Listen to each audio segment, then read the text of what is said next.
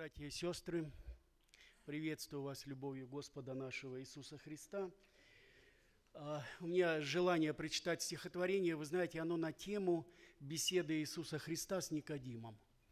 Я хотел бы маленечко пояснить, чтобы вот это стихотворение, Господь мне его подарил, я записал его, но я хочу сказать, что я ну, не стихотворец, у меня, конечно, так не получается складно, но мысль вот беседы Иисуса Христа с Никодимом. Вы помните, это Евангелиана, 3 глава, когда Христос э, ну, проповедовал, все он говорил, и тут Никодим решил прийти к нему. Он учитель Израилев, он уже не молодой человек был, похоже, уже старец был.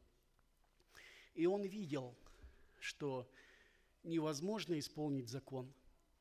И его тяготила та мысль, а как же все-таки спастись? И вот, эти вот, вот этот праздник вот надвигается, э, Крисмас, да, рождение Иисуса Христа, Он спасение нам принес.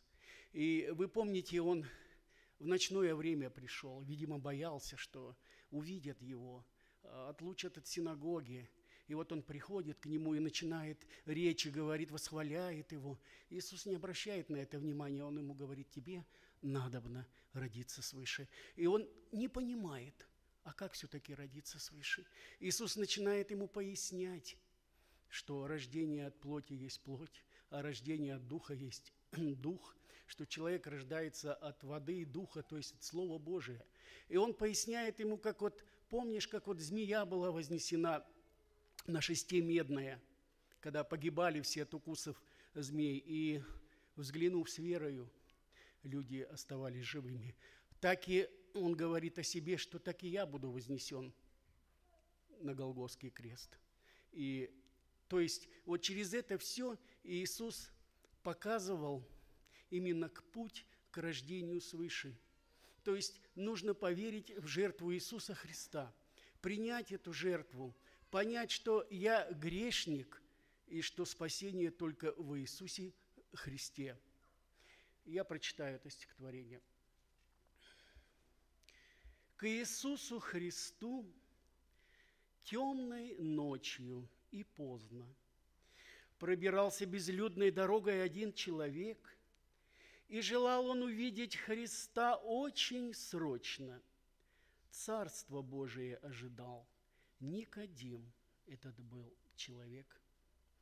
Пробираясь тропою в безлунную ночь, опасаясь, накинувши плащ на себя, размышлял.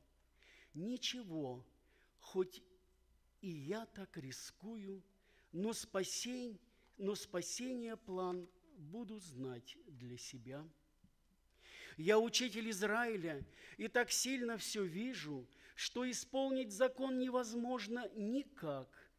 Как на небо попасть, как спастись, я не вижу. Я желаю Иисуса спросить, с Ним Господь. Размышляя вот так, не заметил, что быстро пришел, и, увидев Христа, с восклицанием сказал, «Знаем, Учитель, ты от Бога пришел. Восхваляя Христа, очень много сказал.